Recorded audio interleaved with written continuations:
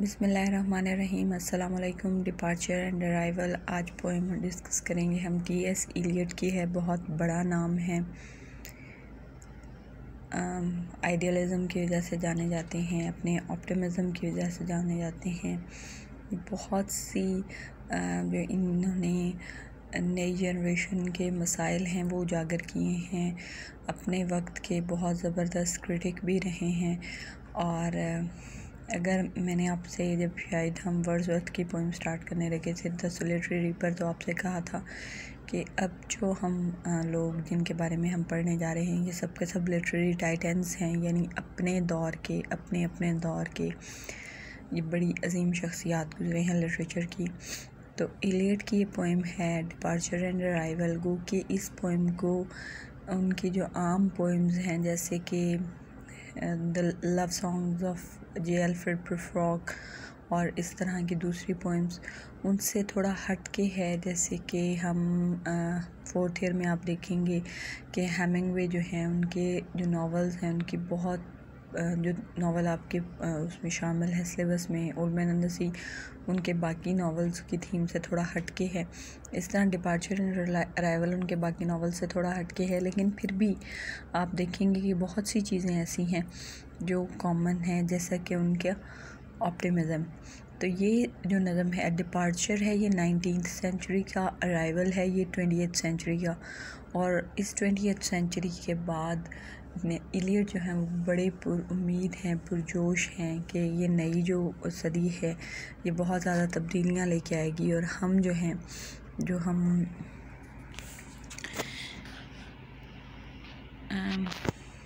बीसवीं सदी या उन्नीसवीं सदी के नौजवान हैं जो उस वक्त इलियट थे वो इसमें बहुत बड़ी तब्दीली लेके आएँगे। लेकिन आ, इसका रिज़ल्ट क्या हुआ, ये बाद में डिस्कस करते हैं, अभी फ़िलहाल देखते हैं। खड़े होते हैं जब हम इल्म और इरफान के साहिल पर तो एक लम्हे को शक में मुबतला हम हिचकिचाते हैं। फिर उसके बाद होंठों पर सुहाना गीत लाते हैं। समंदर में बिला नक्शा उतर जाते हैं हम बढ़कर। न कोई रोशनी है इन चट्टानों पर जो है अंदर। नहायत हौसले से फिर भी हम बढ़ते ही जाते हैं। तो यहाँ इलियट कहते हैं कि जब हम इस नॉलेज के ओशन के किनारे पर खड़े होते हैं तो बेशक हम हेजिटेट करते हैं स्टार्ट में, लेकिन उसके बाद हम अपनी हिम्मत इकट्ठी करते हैं और इस अनमैप्ड ओशन में अनमैप बिला नक्शा समुंदर में उतरना, ये एक आप तशबी समझ लें, बहुत ही खौफनाक काम है। एक ऐसी जगह पे जाना जहाँ आपके लिए ख़ास तौर पे इसके लिए एक और सिमिली इस्तेमाल होती है ट्रैकलेस डेज़र्ट जो सहरा जिसमें निशान ना हो।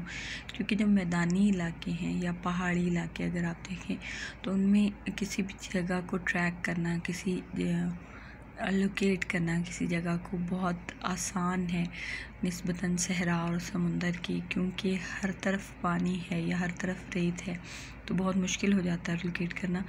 तो बिला नक्शा उतरना ये बहुत ही डेंजरस काम है, और ख़ास तौर पे जो उसकी चटानी है, उनमें कोई लाइट नहीं है, कोई स्ट्रीट लाइट्स नहीं है, लेकिन फिर भी हम हौसले से बढ़ते जाते हैं। हमसे मुराद उनकी वो ट्वेंटी सेंचुरी के नौजवान हैं। अगरचे रास्ते अगरचे रास्ते दुशवार हों, पुर हों ख़राबों से। अगरचे इसमें पेश आए, हज़ारों ही ख़तर हमको। जवानी के निगाह अपनी है, आती है नज़र हमको। एक ऐसी राह सजी है, जो कि सब्ज़े से गुलाबों से।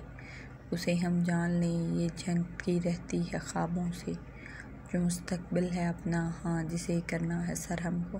तो जो फ्यूचर के ड्रीम्स हैं, वो कह रहे हैं कि जो पुरखतर राहें हैं, ये भी हमें सब्ज़े और गुलाबों से सजी नज़र आ रही हैं। हमारा जो ऑप्टिमिज़म है, हमारी जो उम्मीद परस्ती है, वो हमें अपनी ये जो सारे मसाइल हैं, उनको भी ये खुशखबरी और जिसे कहते हैं मुस्तकबिल की खुशियाँ बना कर दिखा रहे हैं। क्योंकि हमें हौसला है और हम ये सब कर सकते हैं। बुलाते हैं फ़राइज़, अब बड़े, इनकी है अब हद क्या? सदी बीसवीं, ज़्यादा ही वर्षा लेके आई हो। बुलाती है, छुपा है वक्त में क्या है ख़बर किसको? ख़बर क्या आने वाले वक्त में हो काम सरजद क्या? मिले क्या फतह गुम पर और बढ़े इंसान का कद क्या? पुराने दौर से पैदा हों अब ज़्यादा बड़े हीरो। तो कहते हैं कि हमें नहीं पता कि बीसवीं सदी जो है वो ट्वेंटी सेंचुरी अपने, अब कौन सा विरसा लेके आई है और आगे, आने वाले वक्त में क्या छुपा है क्या होगा, इंसान कहाँ तक पहुँचेगा। और बड़ी पथेटिक है ये नज़म पढ़ना मेरे लिए ख़ास तौर पर। शायद मैं कुछ ज़्यादा साइनिकल हूँ।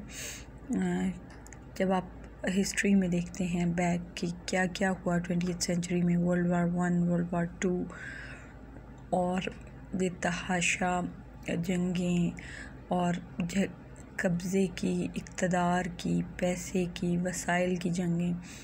तो अगर हम ये कहें कि अगर हिस्ट्री में देखा जाए तो सबसे जो अगर जिसे कहते हैं कि खूंखार सदी गुज़री है यही बीसवीं सदी थी।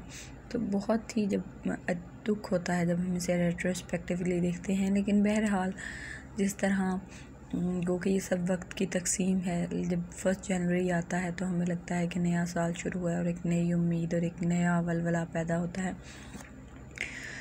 लेकिन बहुत ज़्यादा ऑप्टिमिज़म है एलियट की नज़म में।